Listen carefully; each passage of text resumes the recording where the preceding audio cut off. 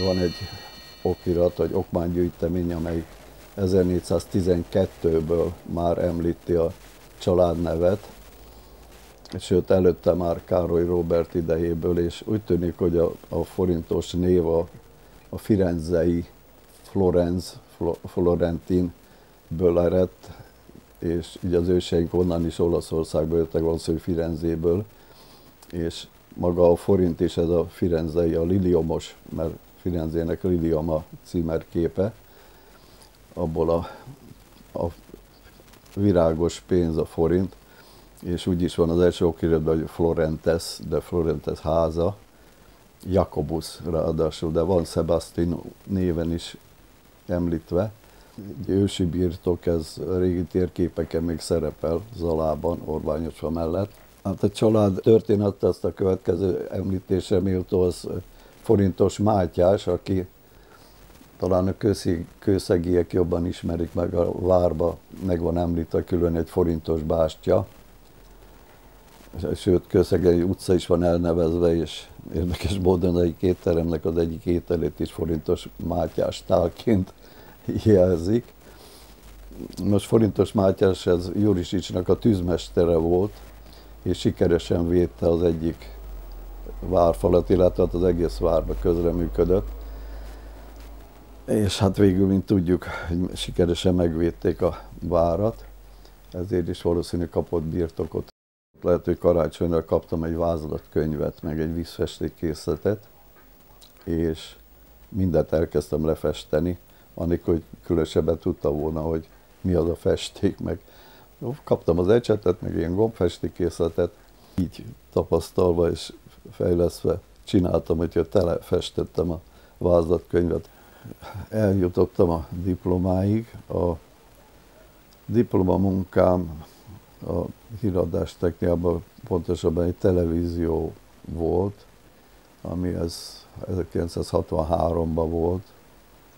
Most ha emlékszünk azokra az időkre, akkor a televízió annak idején még egy komoly butordarab volt a szobába, a lakásba ennek megfelelően dicsérettel fogadták el a diplomamunkámat. A diplomamunkát a Népszerű Technika című szakfolyóirat volt. Ebbe Bozzai Dezső neves formatervezőnek volt egy rovat, hogy szépség az iparba hátsó borító, és ezen leközölte a diplomamunkámat, a televíziót, ami szintén meg van képe, megmaradt, maga a formatervezés, akkor nagyon ismeretlen volt ez addig volt különösen nehéz, amíg nem volt, mint fölmutatsak referenciaanyagot. Mivel ez az elektronikus mérőkészségek gyára is, hogy még a számológépeket is, hát ezek végül úgy kerültek csak forgalomba, hogy más gyárakba került, vagy irodákba került asztalokra. Csak tényleg akkor még egy ilyen szobaméretű volt, és sőt, külön terem volt, ahol légkondicionálást